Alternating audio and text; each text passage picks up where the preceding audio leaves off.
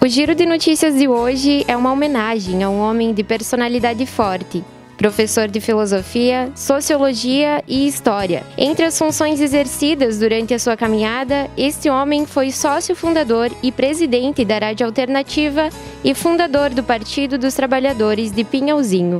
Estamos falando de Alvísio Jacó ele. Hoje a nossa equipe veio conhecer o casarão do Alvísio, que fica localizado no interior de Pinhalzinho e guarda muitas recordações. O mês de fevereiro foi um mês que deixou muita tristeza aos amigos, conhecidos e familiares de Alvísio Jacó ele.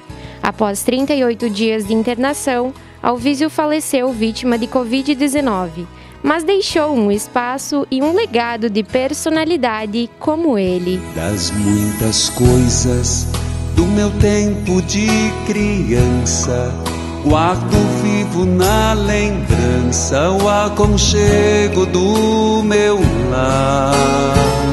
No fim da tarde, quando tudo se aquietava, a família se ajuntava lá no alpendre a conversar.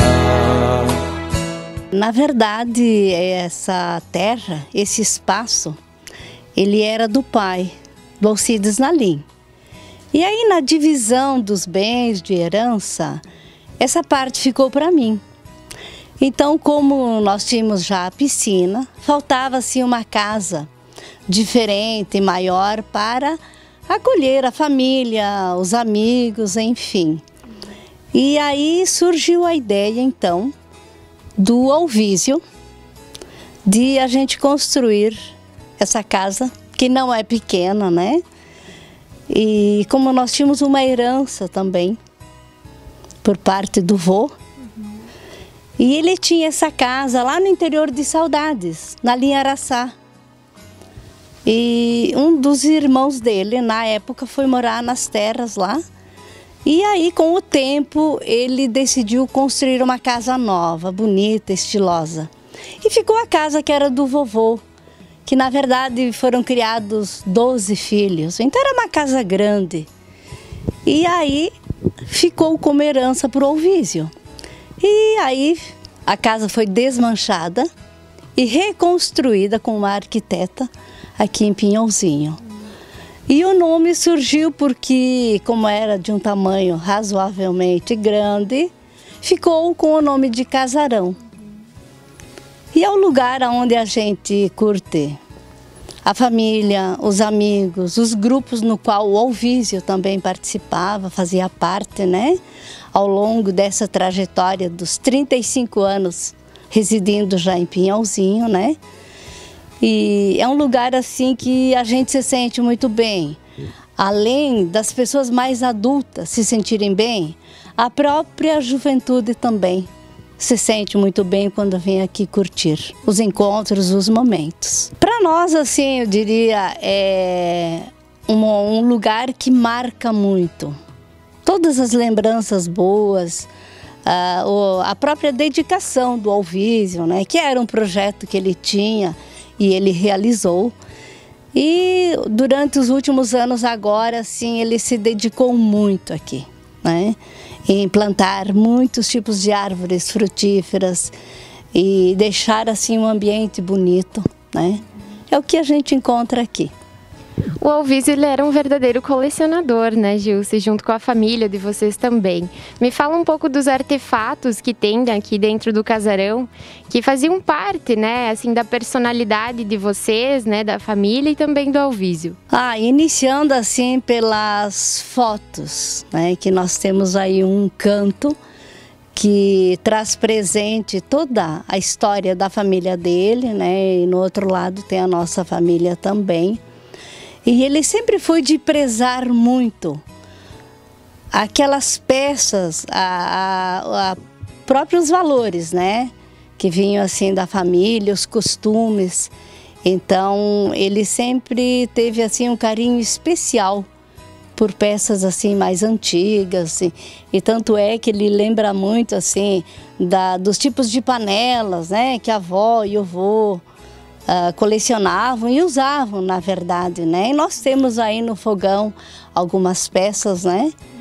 Então ele sempre foi assim muito dedicado às coisas antigas. O, o pai para mim ele, ele foi uh, um grande amigo. Ele sempre foi uma pessoa muito cuidadosa. Ele sempre tinha muito a falar. Tanto é que a profissão dele é professor e na vida ele foi um professor também, a valorizar a, a família, os amigos, as festas. Tanto é que esse ambiente aqui foi justamente para isso. Ele falava que era o ambiente, que era o sonho dele, que era para reunir todos os amigos, a família, para comemorar as coisas boas da vida. Felipe, como que você vê a importância de estar tá preservando esse espaço, né, que traz muitas recordações dele e uh, recordações essas que agora ficam para a família, né, e também para os amigos? É, esse espaço aqui, ele, ele tem uma coisa que ele uniu as duas famílias, né, por parte de mãe pela pela área e a casa que foi uh, desmanchada foi onde meu pai nasceu. Então ela foi restaurada, as portas, as janelas, tudo nas cores da casa onde ele nasceu. Então isso aqui é uma coisa que tem um valor que não tem dinheiro que pague, né? Então a dedicação que ele tinha e que eu via ele tendo aqui, que a gente ajudava, a gente tem que manter isso porque isso era um sonho dele e agora é nosso também.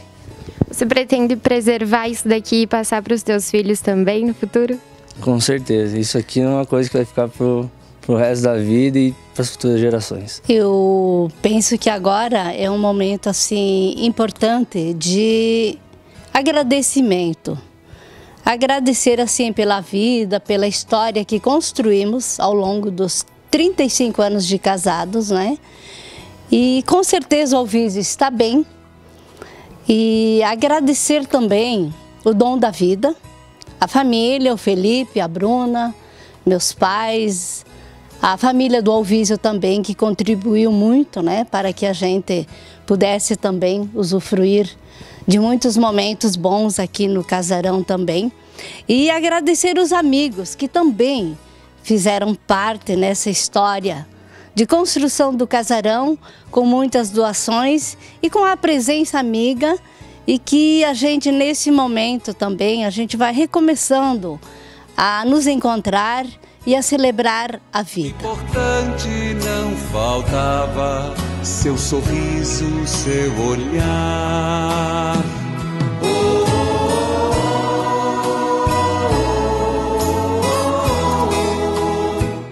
Eu tantas vezes vi meu pai chegar cansado, mas aquilo era sagrado.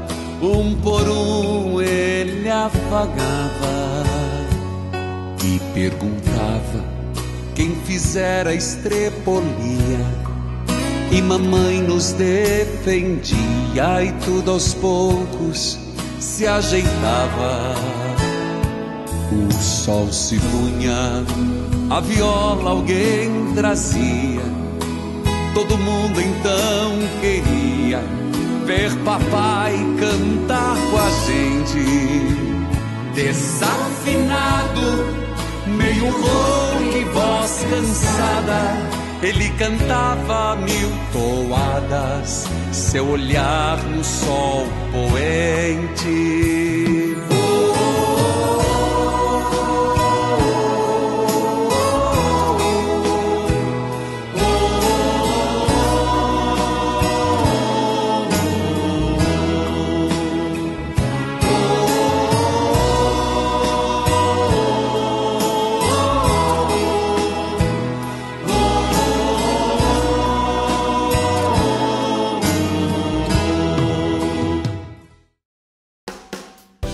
Tecnicom é o apoio que a sua empresa precisa para crescer. Nós temos todo o assessoramento que você, empresário, necessita. Não espere para ter uma assessoria empresarial diferenciada e ter sucesso no mercado. Tecnicom, a sua melhor escolha.